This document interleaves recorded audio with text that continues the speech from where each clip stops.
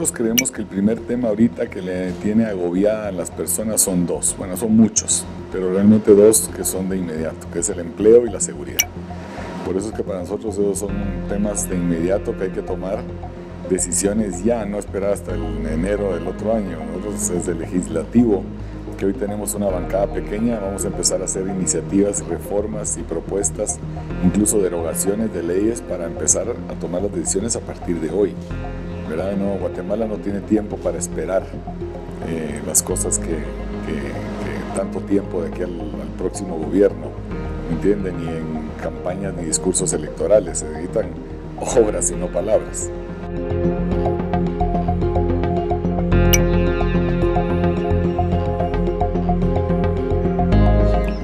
Vamos a hacer más de un millón de empleos, vamos a crear más de un millón de empleos. ¿Cómo? Primero vamos a construir un millón de viviendas. ¿Pero cómo? Vamos a construir un millón de viviendas y hoy Guatemala hace 18 mil, 20 mil viviendas dignas al año. Hoy vamos a hacer un millón de viviendas, 250 mil al año dignas. Hoy el déficit es de más de un millón y medio de viviendas. Y entonces, ¿cómo lo vamos a hacer? Guatemala tiene más de 12 mil millones de dólares hoy en reservas. Eso alcanza para casi un año de las importaciones del país. Lo sano es tener entre 3 y 4 meses de, de, las importaciones en remesas, en reservas, perdón, en reservas.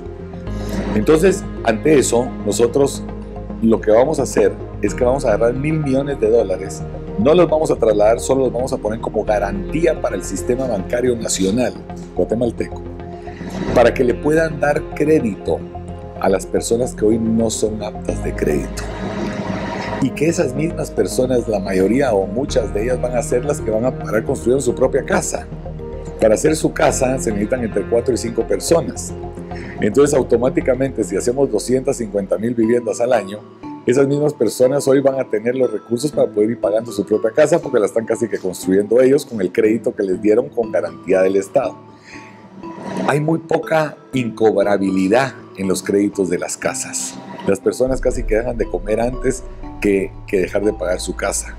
Y se vuelve un proyecto familiar donde todos aportan un poco. Entonces, al final de cuentas, el generar y reactivar la economía y generar empleo lo más rápido posible es construyendo la vivienda. Ahora, lo más interesante de esto es, ¿sabe cuánto le va a costar a Guatemala eso? Cero. Ni un solo centavo. Que nosotros hemos dicho que nuestro gobierno va a ser innovador y disruptivo. Somos creativos. Y eso debemos de hacer, ser diferentes. Y esa es una decisión, por ejemplo, y una solución que a Guatemala le cuesta cero y que va a solucionar y generar empleo de inmediato. No solo de esa manera, aparte que el construir esas viviendas, todos los productos, materiales, van a crecer las plantas, las inversiones, van a venir nuevas inversiones de, de, fuera, porque son 600 casas diarias.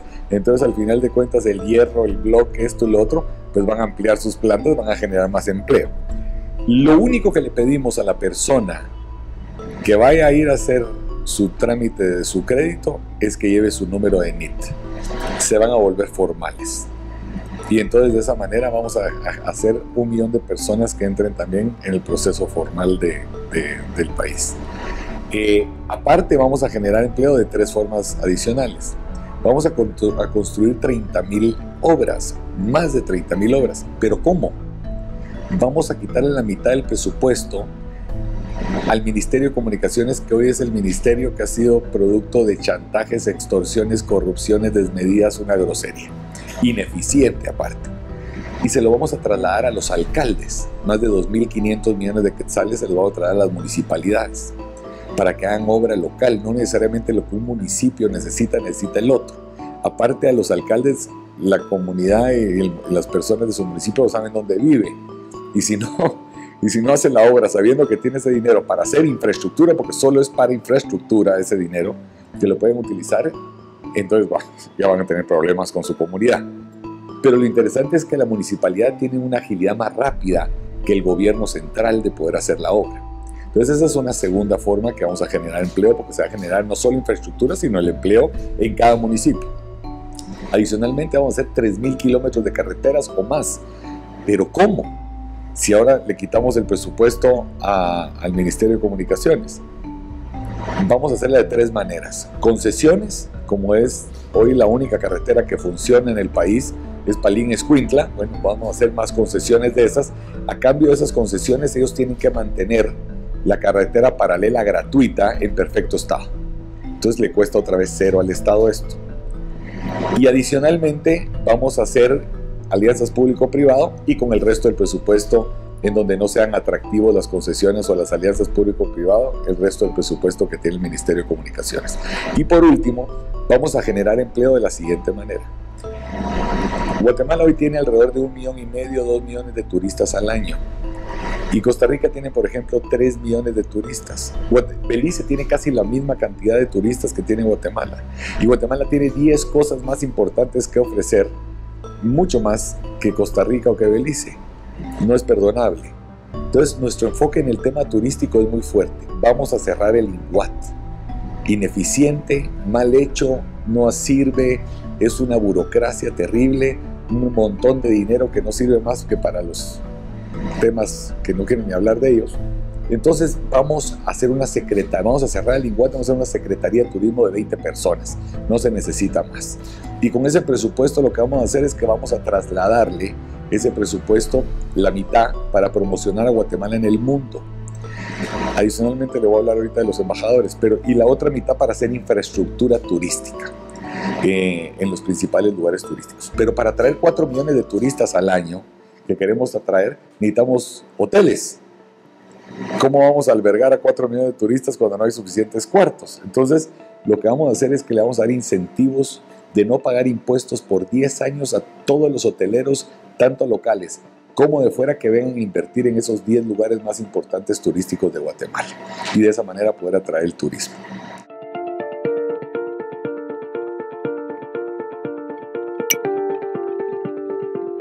Te explico varias cosas. En el tema de seguridad son tres temas específicos y rápidos.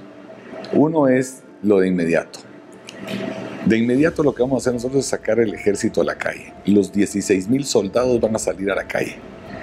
Y vamos a, utilizar inteligencia militar. Todo el extorsionista, asesino, violador, secuestrador, marero, que me miren a los ojos ahí sí que como lo decimos y que me miren a los ojos, una oportunidad van a tener. O se rinden o se mueren. No vamos a tener otra posibilidad de darles otro chance. Así de sencillo. Se acabó. Le vamos a devolver la paz y la seguridad a la familia guatemalteca y vamos a retomar el territorio. Vamos a hacerlo así. Hoy el ejército cuesta más de 2 mil millones de quetzales al año y hoy en vez de tenerlos cuidando a nuestra población, los tenemos metidos en bases militares. Y ellos estoy seguro deseosos de salir a cuidar a la población. Entonces la realidad de las cosas es que esa es una decisión de inmediato que lo vamos a hacer, punto y aparte. Segundo, en el tema de la pena de muerte.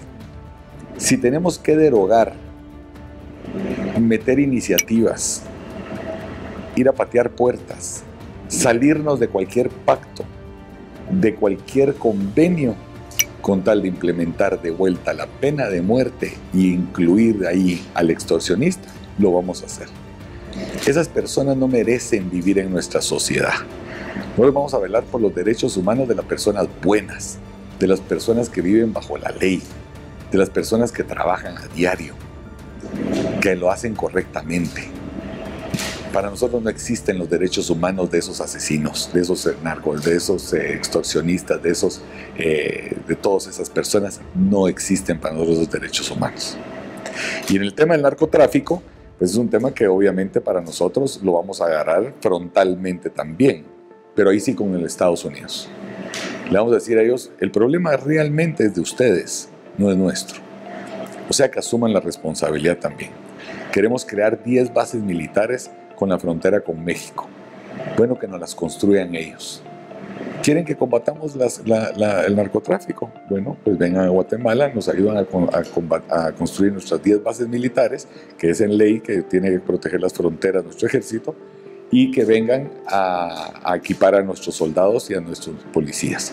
¿Para qué? ¿Para que no pase el narcotráfico y que ellos ayuden a ese combate? Claro que sí. El problema más de ellos que nuestro, pero hay que encararlo. Para el tema migratorio, ese no es un problema. ¿Por qué? Porque nosotros le vamos a dar las condiciones al guatemalteco para que no se tenga que ir por oportunidad, sino que por, no por necesidad, sino que se vaya por oportunidad. Que el guatemalteco migrante se quiere ir, que son nuestros verdaderos héroes nacionales, los migrantes, y les vamos a dar su lugar que nunca nadie les ha dado. Se vayan si se quieren ir por oportunidad, no por necesidad, porque esas se las vamos a dar nosotros. Pero esas bases militares nos van a servir a nosotros también para protegernos del contrabando de México, no de una invasión militar, sino de contrabando de los productos que están quebrando nuestras industrias. Entonces vamos a hacer eso. Y de ahí el tema que creemos mucho en el tema de la seguridad preventiva. Por eso son dos, tres temas diferentes. Vamos a hacer una alianza público-privado con las telefonías, en donde se les va a permitir a ellos poder usar para sus celdas pequeñas y mejorar la red de comunicación en Guatemala, que por sí es muy buena, las áreas públicas. ¿A cambio de qué? Gratuitamente. ¿Pero a cambio de qué? De que nos pongan más de 500 mil cámaras en todo el país, una por cuadra, con iluminación. Estos delincuentes y el crimen organizado no van a encontrar una piedra suficientemente grande donde se puedan esconder. Y cuando los encontremos van a tener esa oportunidad de rendirse o morirse. Pero vamos a, creemos mucho en las cámaras de seguridad. Y por el otro lado también vamos a hacer que nos lleven la ancha, la, banda ancha a las escuelas, que eso hablaremos ahorita.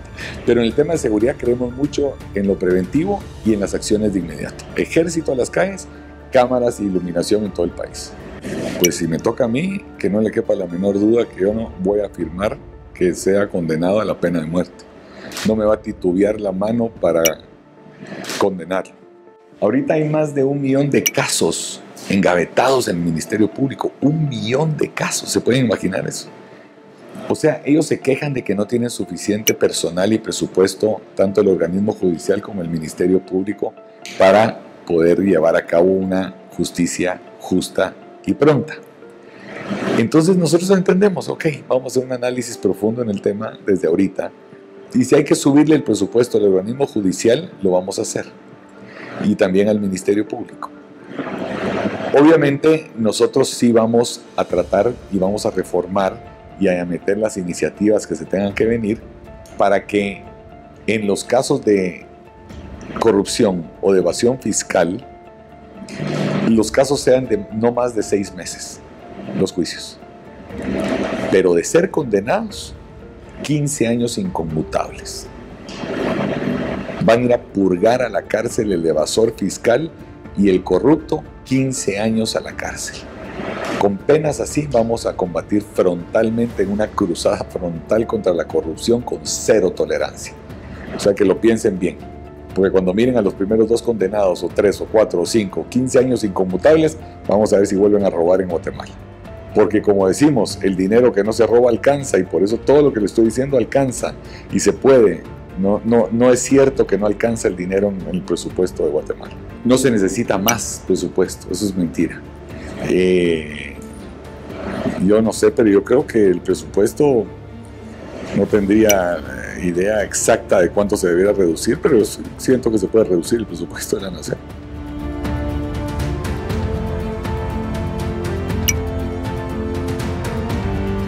Yo creo que aquí Guatemala necesita recuperar la red vial de una manera inmediata, urgente y rápida. No puede una persona en Salamá, un campesino, eh, un agricultor que, siembra pepino y cosecha pepino, tardarse siete horas en venir a Guatemala para vender al SEGMA su producto. No, no, no, no, no puede ser eso. O que un turista se tarde siete horas en llegar a Río Dulce. Tampoco.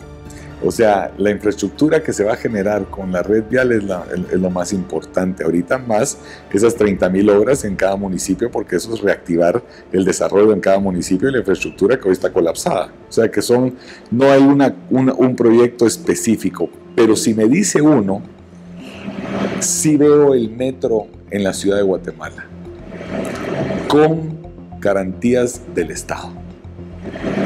Sí veo que la ciudad colapsó con el tráfico y sí tiene que existir ya una, una forma alternativa del transporte público.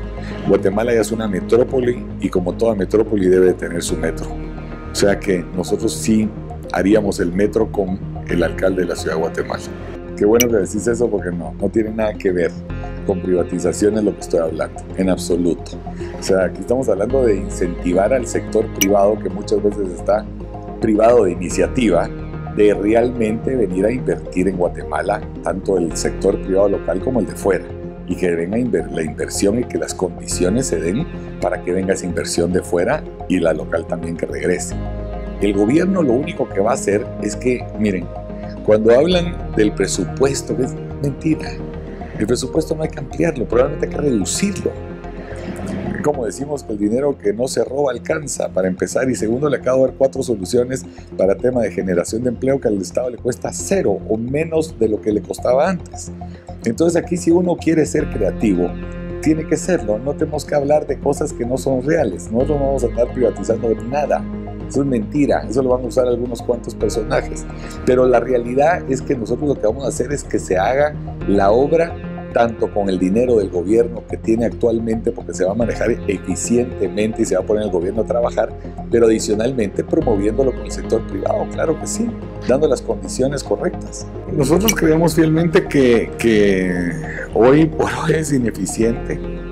Eh, el manejo de los, puertos, aparte es donde hoy se maneja todo el contrabando, trasiego de droga, de personas, de armas, de mil cosas y bueno, qué mejor que puedan venir eh, empresas de fuera con una mancuerna con otros gobiernos incluso, de que puedan hacer un desarrollo, más que desarrollo, sino manejarlo transparentemente, eficientemente y que sea rápido para que inviertan el dinero que se necesita. Por ejemplo, que los furgones que vengan de Estados Unidos a Guatemala con producto, o los que vayan para allá ya vayan prechequeados y que no tengan que hacer trámite alguno, para que cuando entran acá no sean objeto de extorsión o de corrupción o de mordida, ¿me entienden? Entonces, por ese lado, los aeropuertos, porque no hay infraestructura de aeropuertos, entonces al Estado no, para que lo use el 1% de los guatemaltecos, mejor que vengan empresas de fuera, como lo hacen en todo lo, todo esto que le estoy diciendo lo hacen en todos los países del mundo. O sea, no, no estamos descubriendo el agua azucarada. Lo que pasa es que aquí no han querido hacerlo porque quieren el negocio de los puertos, quieren el negocio de los aeropuertos, que eso es lo que quieren. Pero esto que le estoy diciendo yo, en todos los países del mundo lo hacen. Eh, no, no debe costarle al guatemalteco el 1% que lo usa el aeropuerto internacional, que usa el 1% de los guatemaltecos del aeropuerto, a los 19 millones de, personas en Guatemala que no lo usan, eh, tengan que estar manteniéndolo y pagando por él. No, no es lógico. Entonces, sí creemos fielmente en, la concesión y en, darlo en, que sea administrado por, por empresas privadas los puertos y los aeropuertos se le compensa a la municipalidad ese ingreso que tiene, pero que hay que entender que ha sido un abuso en muchas, en la mayor cantidad de municipalidades en el interior, ha sido un abuso de un impuesto que no solo es injusto, sino que no les dan el servicio. Les cobran y ni siquiera tienen el alumbrado público. Entonces, esta forma y esta idea creativa es, hoy las telefonías les cuesta 1.500 dólares el sitio donde alquilan para poner sus, sus celdas y sus, y sus torres al mes. Bueno, nosotros vamos a decir, no le vamos a cobrar en las áreas públicas, pero ustedes me van a iluminar cada cuadra y me van a poner cámaras en cada cuadra. Y van a pagar la energía. O sea que hoy no solo no le va a costar, va a estar iluminado todo, sino que le quitamos un impuesto injusto a las personas y van a estar más seguros. Y aún así para la telefonía va a ser rentable hacerlo porque le va a salir más barato de lo que le costaba alquilar su torre.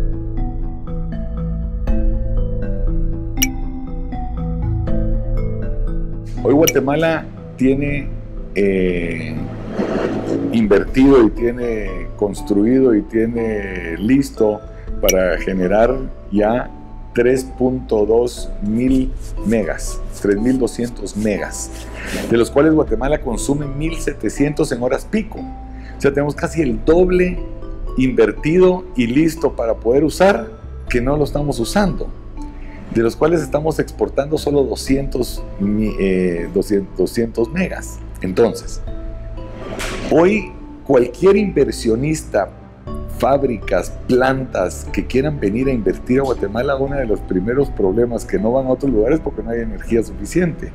Pues tenemos esas condiciones. Entonces es una de las cosas de, de dar esas condiciones al, inversionista de fuera, decir, miren, aquí tenemos energía barata, eficiente y rápida para poderles dar. Entonces, vénganse, es parte de, la, de las condiciones que le vamos a dar a ese inversionista de fuera. Son condiciones y épocas diferentes. Hoy el turismo en Guatemala, como te decía, no solo es generar las condiciones, pero el Inguato es ineficiente, hay demasiada gente, el presupuesto que tiene no, no se mira reflejado en nada positivo. Han pasado muchas personas por ahí, transitorias, que no han hecho mucho. O sea que realmente creo que el director actual es muy buen hombre. Eh, Chacón, Jorge Chacón, es un buen tipo. Y creo que es una persona que debiera seguir a cargo, pero de la Secretaría de Turismo pequeña. El INGUAT no es eficiente y no debe seguir. Eh, nosotros lo vamos a cerrar sin duda alguna.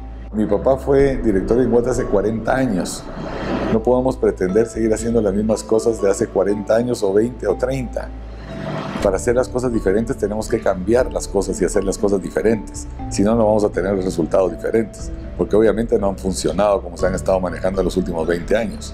La mitad de eso seguiría para promover a Guatemala en el extranjero eh, atrayendo a Guatemala y vendiéndolo como debemos de venderlo, ¿verdad? Como un país fantástico y divino. Eh, el otro es, eh, de alguna forma, no, de alguna para invertir en infraestructura turística que se necesita, que son cosas que el sector privado no lo va a hacer.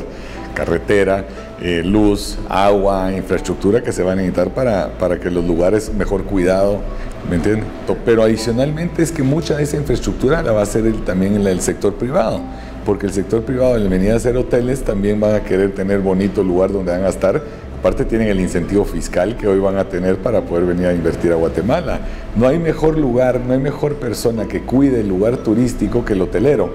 Ustedes miran en Kenia, en los safaris, los hoteleros son los que mantienen los safaris porque ellos quieren que miren a los leones y se desaparecen los leones y los hipopótamos y los rinocerontes, pues obviamente ya no hay safari. Pues aquí es lo mismo, aquí quieren que vengan a ver las ruinas lindas, que vengan a ver los lagos limpios, que vengan a ver los lugares arqueológicos eh, bonitos, ¿me entienden? Eh, antigua, coloniales. Entonces los mismos hoteleros van a ser los que se van a organizar para mantener los lugares en perfecto estado.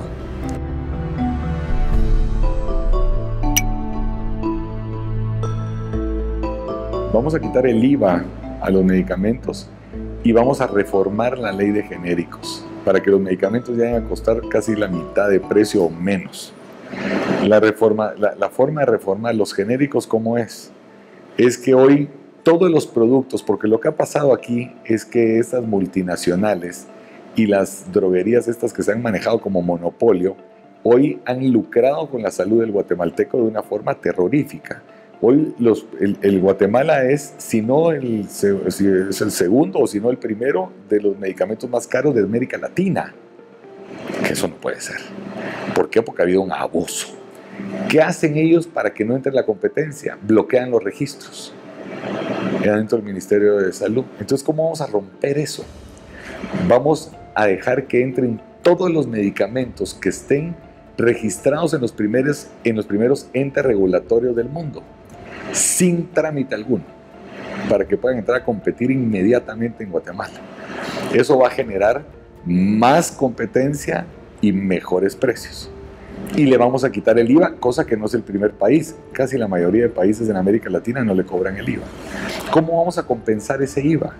Nosotros vemos que no solo del ahorro del gasto público, sino que adicionalmente de todas las inversiones más turistas. Imagínense, si queremos llegar a 4 millones de turistas eh, por 500 dólares promedio que van a gastar cada uno, son 2 mil millones de dólares, son 15 mil millones de quetzales que van a venir a gastar a Guatemala. O sea que no es un tema que nos preocupa, es, es dejar de recibir ese renglón porque lo vamos a generar en mucho más. ¿Me entiendes? Solo en el millón de personas que van a ser formales ahora, por ejemplo, con el tema de los empleos de la, de la vivienda. O sea, hay muchas áreas en donde nosotros vamos a ser mucho más eficientes, pero que vamos a compensar esa equidad. Pero hoy, a la familia guatemalteca que le ha pegado durísimo el tema de los medicamentos, van a tener medicamentos mucho más baratos. ¿O no les gustaría a ustedes? Sí, efectivamente, eso lo, lo podrían pagar con sus remesas familiares ellos y la idea es que el 50% lo paguen ellos y el 50% lo pague el Estado. O sea, aquí no entraría el patrono porque no hay un patrono, sino que el 33% del patrono ya no entraría aquí, sino sería el 50-50. Ahora, obviamente sería un costo para el Estado. Pero a la vez, regresamos al tema, es más barata la medicina preventiva que la curativa. Diez veces más barata. Vamos a hacer campañas de vacunación masivas.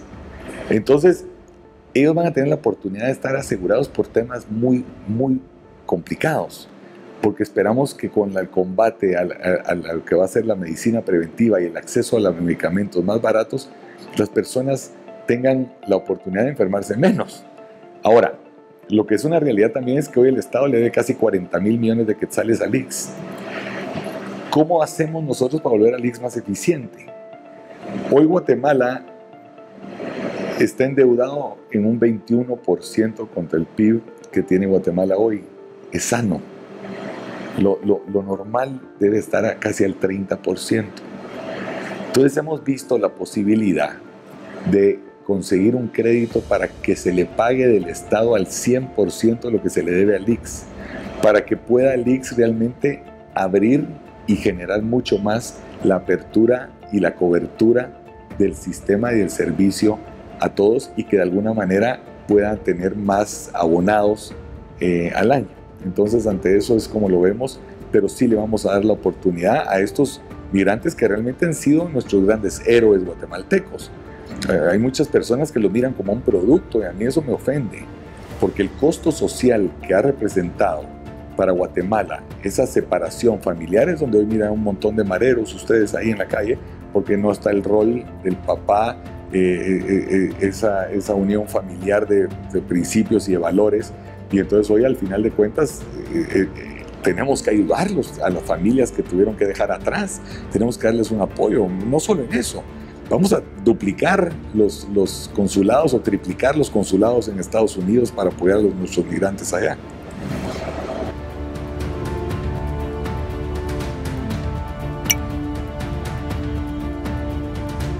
En la misma alianza público-privado con las telefonías, hoy hay internet casi en todos lados, pero es malo, no funciona. Entonces les vamos a pedir que ellos nos pongan un millón de computadoras, más que lleve la banda ancha a todas las escuelas. Pero entonces aquí viene un problema, que las escuelas, la infraestructura se está cayendo a pedazos.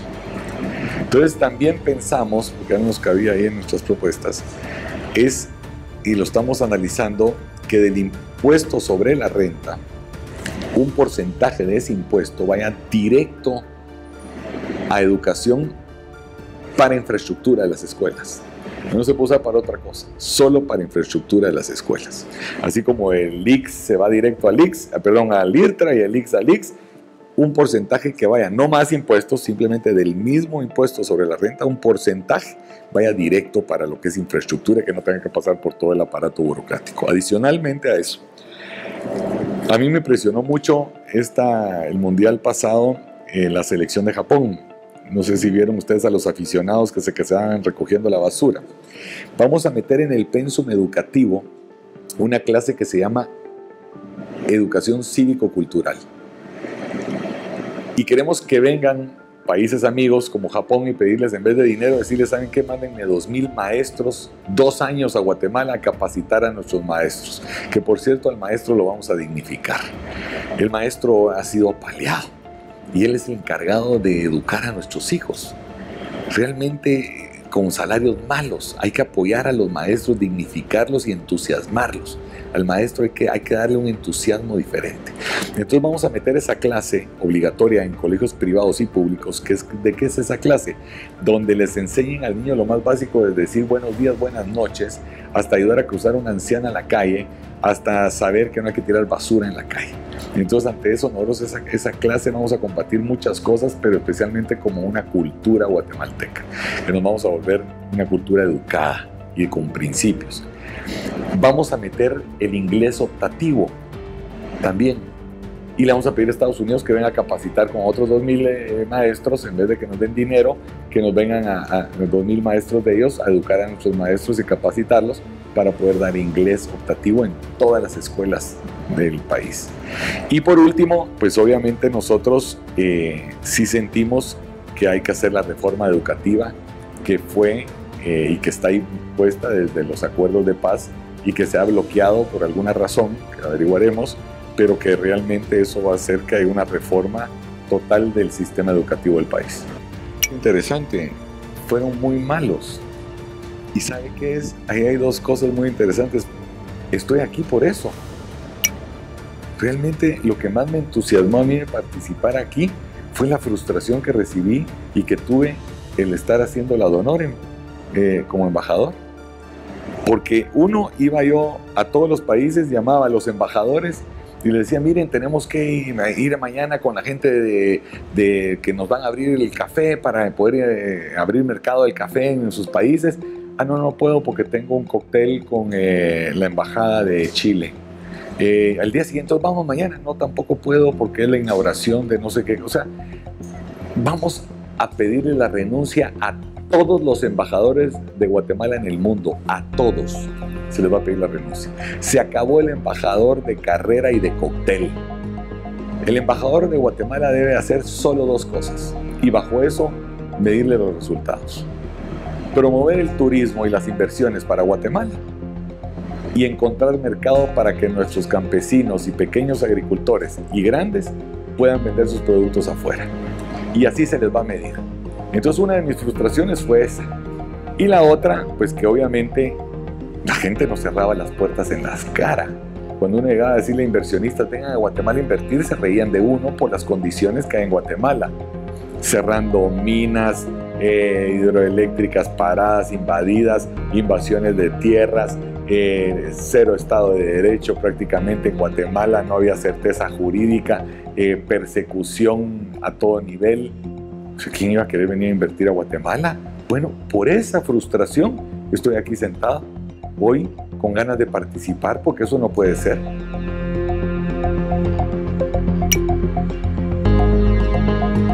Sí, no, yo creo que la Sicilia es historia eh, y, y yo no la traería de vuelta. Creo que fue un proyecto con buenas intenciones, pésimamente mal manejado y abusado y hoy es historia. Hoy Guatemala tiene que estar listo ya para que la justicia sea de los guatemaltecos, para los guatemaltecos y por los guatemaltecos. Eso no quiere decir que no reforcemos al Ministerio Público, como les decía, con más presupuesto y al organismo judicial, pero adicionalmente también apoyarnos con países amigos a que nos vengan a ayudar contra la lucha contra el crimen organizado y la impunidad, claro que sí. No estamos, pero la justicia ya no puede ser manejada o coaptada o chantajeada por, por otras entidades que no sea Guatemala. Eh, pero con condenas muy fuertes. Por eso es que le digo que la justicia debe ser de los guatemaltecos, pero condenada por los guatemaltecos también, con condenas drásticas. Aquí se acabó la corrupción también. El que, quiera corromper aquí, que se prepare para ir y despedirse hasta de los perros de su casa, porque va a pasar 15 años purgando en, la cárcel. Es ajeno a mí. Temas del partido. Yo, fíjense que yo no soy de ninguno de los dos partidos. O sea, mi corazón está en el PAN, obviamente, y mi lealtad está en Podemos porque fue el primer partido que me dio abrió las puertas y porque era un cambio nuevo, un partido nuevo, un símbolo nuevo pero ya, tenían nombrados sus comités ejecutivos y, ellos manejan el partido. A mí me invitaron a ser su candidato presidencial y, bueno, yo acepto porque veo que los dos partidos tienen no solo infraestructura, un símbolo que es el partido más antiguo, el partido más nuevo, gente nueva, gente con experiencia, pero la verdad es que, que me abrieron las puertas para poder participar en esta gran posibilidad. ¿Qué es la gran oportunidad que tengo? Es la oportunidad de servir a mi país. Para eso fui educado, para eso fui preparado, para servir a mi país. Y bueno, hoy me toca a mí. Entonces vamos a servir a nuestro país y ellos me dieron la oportunidad. ¿Qué haya pasado dentro? No tengo la menor idea. Qué bien dicho, porque yo creo que un partido político no debe ser de una familia, ni de una persona. Yo creo en los partidos políticos aglutinadores. Yo sí crecí en el PAN, partido incluyente, que sea un partido que aglutine, que todo el mundo tenga derecho a ejercer un liderazgo, que todo el mundo tenga un espacio para debatir sus ideas y que pueda optar a cargos internos del partido.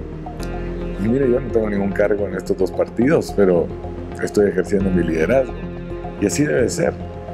Entonces, pues la verdad es que me hubiera encantado que también participara el Partido Unionista, pero ellos Es un partido que está más enfocado en la ciudad y la ciudad lo han hecho muy bien y por eso nosotros los vamos a apoyar en la ciudad.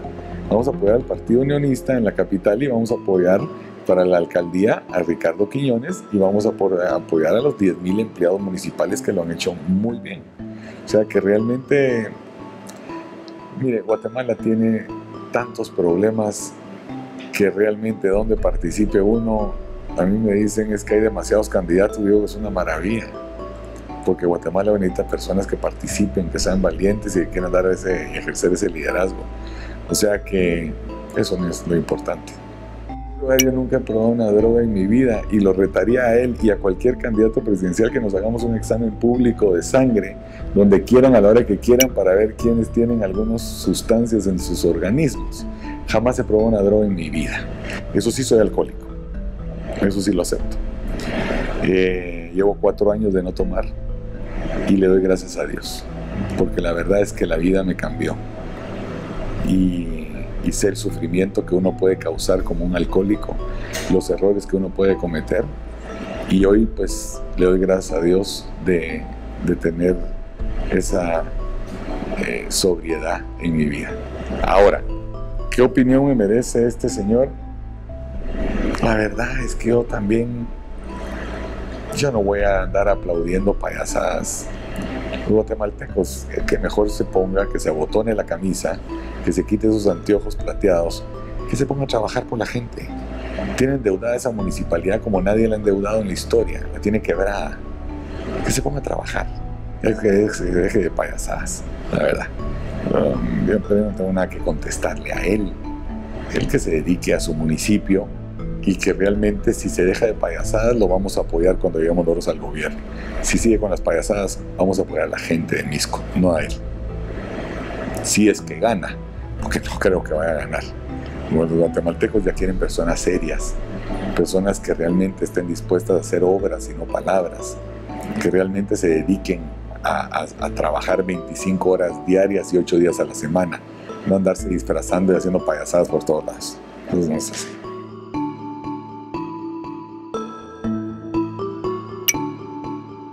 Bueno, para empezar, el vicepresidente José Farias es una persona intachable. No pude haber encontrado una mejor persona, capaz, preparada, con conciencia social. Realmente una persona espectacular. Segundo, pues tenemos, por ejemplo, a Gustavo Porras, que fue secretario privado de la presidencia de mi papá. Muchas personas que hicieron gobierno con mi papá estarían con nosotros en el equipo. Eh, pero hay gente nueva también.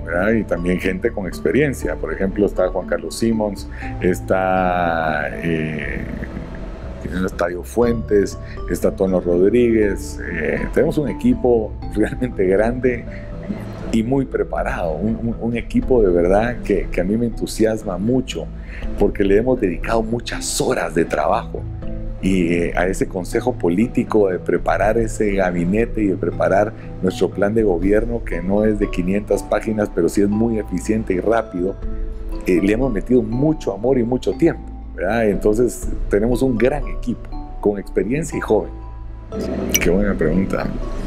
Pues el consejo político en este sentido, realmente, pero, pero la verdad es que mi familia a mí me y amigos personales que, que, le dicen a uno la verdad. Uno sabe cómo funciona esto, ¿verdad? Y yo ya, la diferencia que digo yo que, que, es, que es de mi persona con los otros candidatos es que yo no tengo la obsesión de llegar al poder.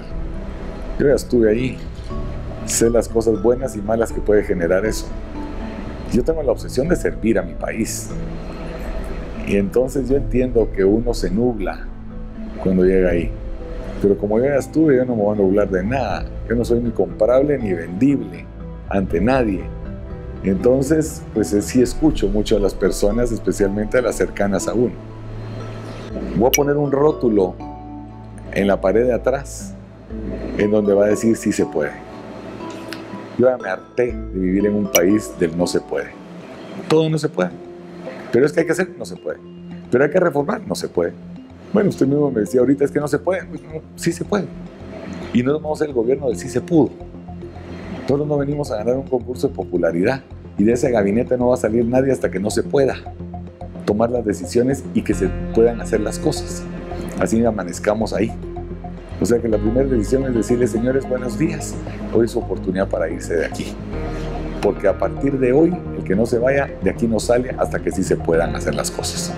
Se acabó el no se puede en Guatemala. Guatemala merece mucho más que el simplemente no se puede.